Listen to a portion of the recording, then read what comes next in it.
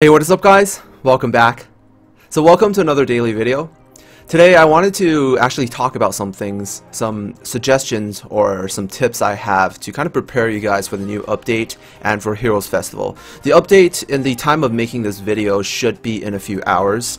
Um, so there's there's a limit limit of what you can do to prepare, but I guess you can kind of prepare yourself mentally because it's going to be a lot of a lot of work, I think in order to, um, if you're planning to get all the Gatitos and stuff.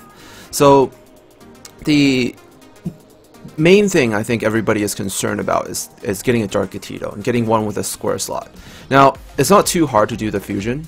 Basically, the fusion requires you to get a Evo 2 Dark Cosmo, and Evo 2, 2 Dark Cosmo is actually fusible. You can actually fuse one of these. Um, it's not too hard to do this.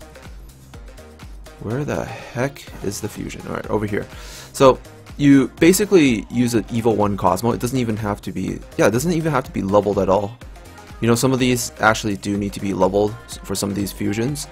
But you, use an Evo 1 Cosmo and an Evo 1 Kilobat. Now the Kilobats are farmable from the Guardian dungeons, so you can probably get this relatively easily.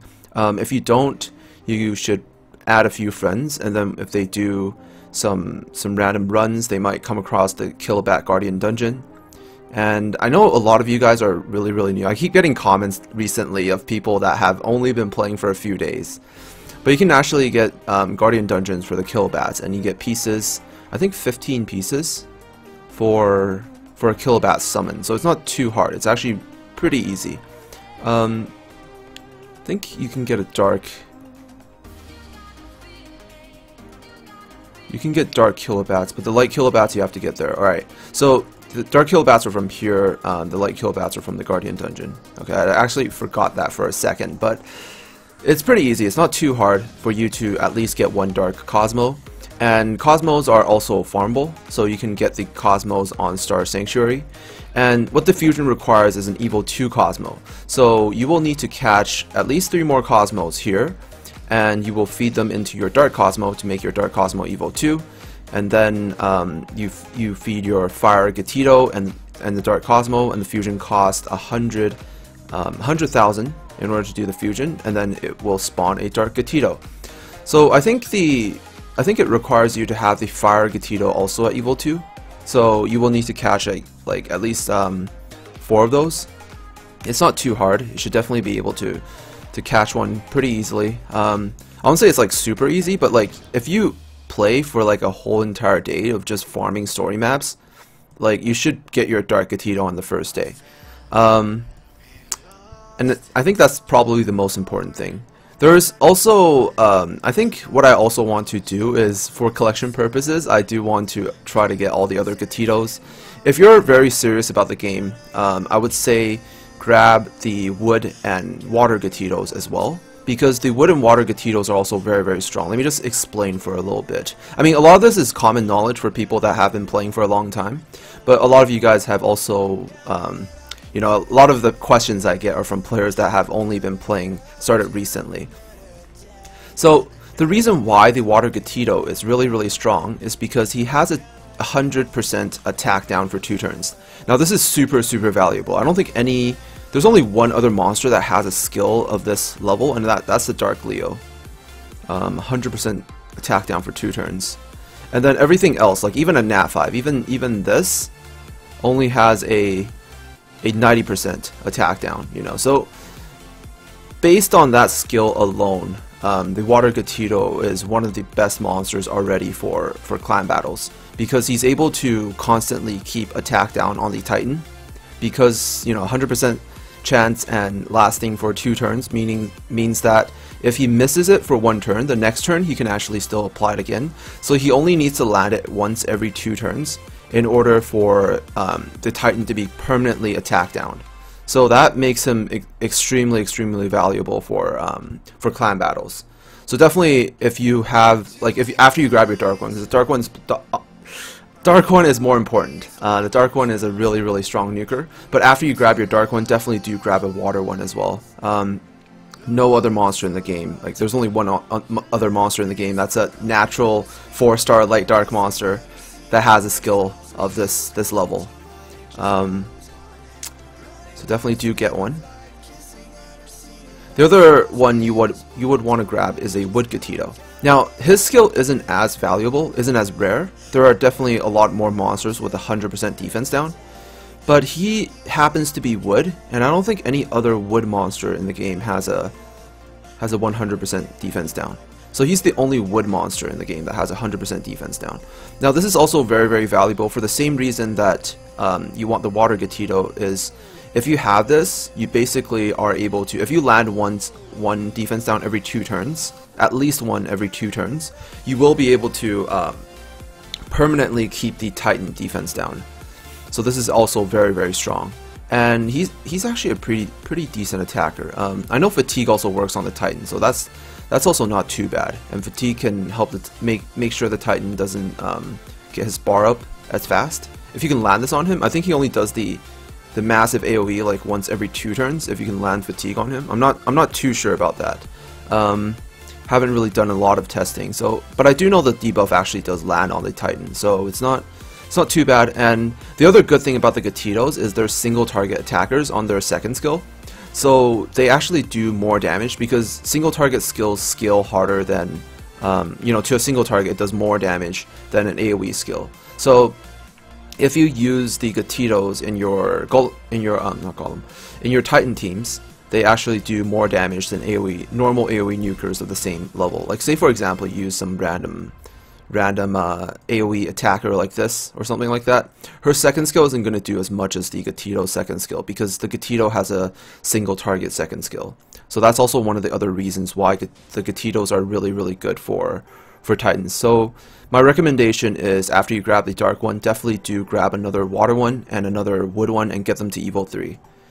And that should actually, like you should probably be set after that. Now, there's also the light Gatito. The light Gatito is, is, uh, he's okay early game actually. I would say because of how he is a, he's a sapper with 100% sap for two turns. I think it's one sap for two turns. Um, he's pretty good for your dungeon runs early on, but he kind of does fall off late game. I mean, he's the only one with a single target HP aggression skill.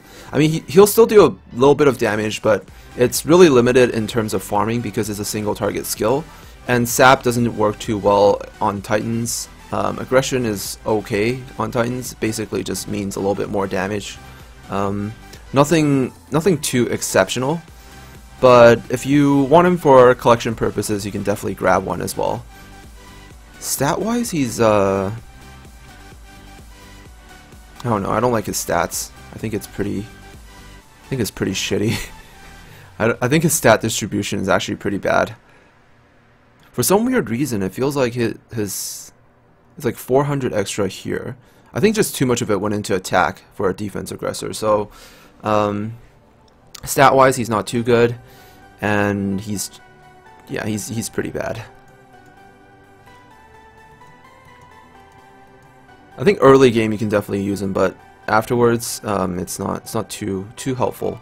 I would rather like I would rather you guys um, take a water. Like if I were you, I would rather get a water and a wood one first before I even think about grabbing a light one. Because the, the water and wood ones are also usable early on because of the 100% attack down and armor break. It makes things really, really reliable. If you're running um, golems and stuff, you can basically keep the attack down on, or defense break on the golem at all times. Because of how they lower the resistance. I think the last one is the fire one. The fire one is almost completely useless. If you watch any of my videos where I reviewed the 2 stars, 3 stars, or 3 all the all the monsters in the game, um, you'll know that recovery down is actually pretty shitty. Petrify on a single target on an active is also very very unreliable. So yeah, he's he's pretty much garbage. I guess that's why they let us farm as many of him as as we want, and that doesn't let us farm um, all the water ones. It would be really sick if you had like eight water ones put them on all your teams. Like the, the Titans always defense down on every single one of your teams.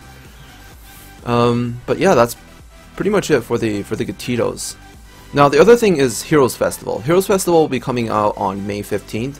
Um, for those of you that aren't familiar, Heroes Festival is basically a special event that allows players to get more Nat 5s. What happens during Heroes Festival is you can do these 10 plus 1s, um, summons, and you have a higher chance to get Nat 5s. And for every Heroes Festival, the first Nat 5 that you summon, you get a bonus Nat 5. It gives you an egg that gives you a guaranteed Nat 5. So um, it's basically a buy one, get one free, you know? And their last Heroes Festival, there was actually a, a thing that players found out, that there was a failsafe for every five, um, if you do five 10 plus 1s, you're guaranteed to get a last, or, or guaranteed a nat 5 on your fifth pull. That's what um, all the players that um, have been playing have found out. We don't know for sure if they're going to be repeating that again. I mean, it sounds really, really OP because every single time everyone just has to save up um, 3k Astro Gems, summon 5 times, and they are guaranteed to get 2 Nat 5s. If that does happen, we're, we're going to have to wait around and see. Um, after Heroes Festival, I'll be looking around on Reddit and everything before I do my summons, and then we'll we'll, we'll wait for the people with uh, with actual money to, to test it out. And when they say, when they give us the okay, we'll do the summons. And um, yeah, you should if it's if it's the same as the last Heroes Festival, you should be able to get at least two Nat 5s if you have 3,000 Astro Gems.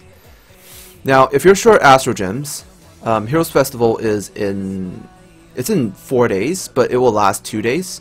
So you technically have six days to farm um, 3,000 Astro Gems, and that's definitely doable if you're at the point where you can farm um, B8 under 2 minutes. You can also farm B7. B7 is also not too bad. But um, basically, if you haven't watched the video where I teach you how to convert gold into Astro Gems, you can you can catch slimes, catch uh, catch anything, and convert. Use 3,300 gold to get 100 Astro Gems, and then you can use that Astro Gem to refill and farm golems and then you will get more gold, and then you convert the gold back into Astro Gems, and then you make about a 10% profit every single time that you do that. So um, if you do that fast enough, you should definitely be able to make um, 3,000 Astro Gems within six days if you're if you go at it hard enough. So it's definitely not something that all new players can do because you need to at least be the point where at the point where you can farm um, at the very very least B7 and up.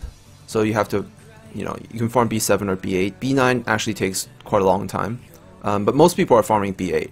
Last when I when the Succubus package came out and I had to farm the 6,000 Astro Gems, I basically stayed in B8 and farmed the slimes the whole entire time.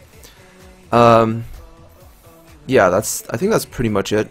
Oh wait, there's a ticket thing as well. Um, I forgot to tell you guys about the ticket. For, ticket's pretty straightforward. It's basically just you get a you can I think it's only three dollars basically it's a ticket that gives you a 10 plus 1 plus 100 Astro Gems.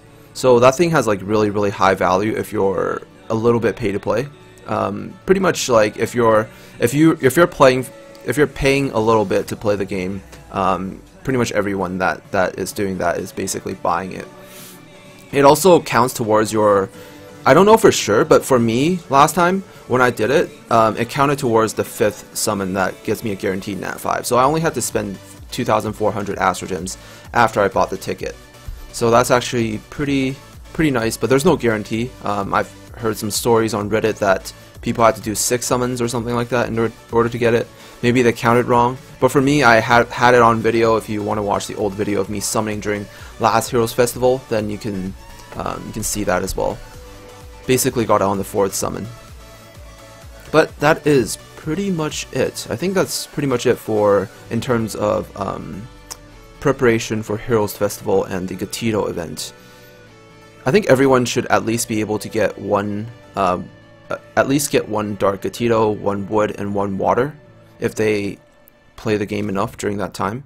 You have about, I think it's like 10 days or something in order to do that, so plenty of time. Um, don't worry too much. I think you can probably, if you're farming at least, um, or like watching your, if you're even at work but you can like still watch your phone or something like that, then you can definitely catch some Gatitos and um, it's actually quite a lot of Gatitos if you think about it, because you have to catch an evo 2 to do the evolution, and then you have to, um, then you have to catch 15 more to get it to evo 3, and then you have to catch another 4 more to do another evolution, and 15 more to get that one to evo 3, and then you have to catch another 4 more to do one more evolution, and another 15 to get that one to evo 3 as well. So that's actually pretty rough, if you if you think about it. It's a lot of farming. But um, I think the order is if you can only get one, get the dark one. If you can get two, get dark and water. If you can get three, get dark, water, and wood. And that's pretty much it. So um, I'll be actually doing a review of the actual patch once it comes out, as well as um, you know give you guys some some tips. But for now, I think for if you're preparing, you can actually start farming and start converting um, your gold into Astro Gems to make sure you have at least enough to summon um, five times during the Heroes Festival. And that is pretty, pretty much it. Oh, also the last thing is, if you do actually miss out on this Heroes Festival, don't worry too much. It's going to come back again in about two weeks. So if you're if you just started playing the game for a few days and you don't have enough Astro Gems, then um, I would say save it. Like don't pop your Astro Gems if you can't do guaranteed to get. If you if you don't have like 3,000 to do five summons, don't pop them. Um, wait until the next Heroes Festival, and then um, at that time you should have 3,000, and then you can do it again and get two guaranteed nat fives. I know it's a little bit boring, but um, you know you if you want to get ahead in the game, you, you got to make the right choices. But that is pretty much it. Now, a little thing about my um, just about my channel update, about me doing doing whatever is I probably won't be able to summon everything um, in in one video because I haven't been farming Golem as much. I've been farming Slumbering City for Dragon Sigils. Currently at 44 now. It's it's hard. All right, it's really really hard getting these. It's insane the like the how low the drop rates for Dragon Sigils are. But I've been farming all day yesterday for them, and then I did a few runs of Golem's B10 to get a few eggs. Um, so I think I can probably do a summoning video once every three days instead of once every single day. Um, but yeah, that's pretty much it. So hopefully this helped you guys out, and um, you know start start preparing for Heroes Festival. At the time of recording, if you're watching this video as I put it out, um, the the uh, hero or the update should be in around a few hours. So um, probably take this time to start farming, start getting resources, start getting gold and astro gems, and kind of start preparing for Heroes Festival and Gatito Fusion because the fusions will cost a little bit of money. Uh, you know, evolving to Evo 3 and stuff, and doing fusions if you don't have the Dark Cosmo, and you know, evolving the Dark Cosmo from Evo 1 to Evo 2, and then doing the fusion for that, and then like you know evolving your Gatitos to Evo 2 to Evo 3 will cost a little bit of gold. So you de definitely want to stock up a bit right now. But that is pretty much it for um, for this video, and I'll see you guys in the next one. Peace out.